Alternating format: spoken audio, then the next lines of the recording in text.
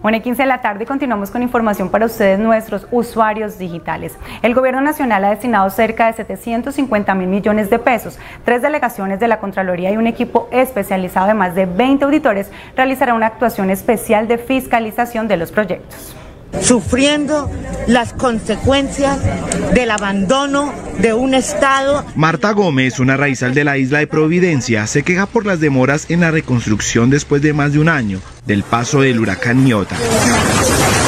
Nosotros hemos estado aquí sobreviviendo sin los servicios públicos básicos que cada población necesita.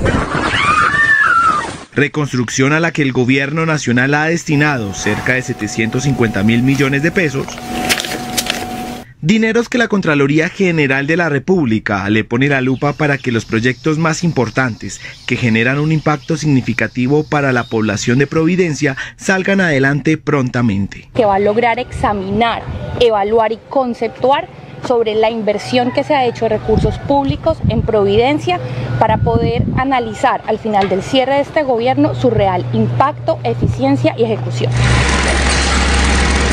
Ejecución de obras de infraestructura, viviendas, escenarios deportivos y proyectos de agua potable y saneamiento básico serán objetivo de evaluación como el puente de los enamorados que une Providencia con Santa Catalina. Está en un avance bien importante, está en este momento pendiente de que llegue aquí a Providencia todos los materiales para ubicar el piso de la estructura.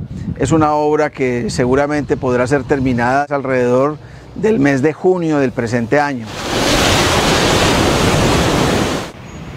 El ente de control asegura que los resultados de este proceso auditor estarán listos hacia finales del próximo mes de julio. Desde Bogotá informó Edgar Ramírez.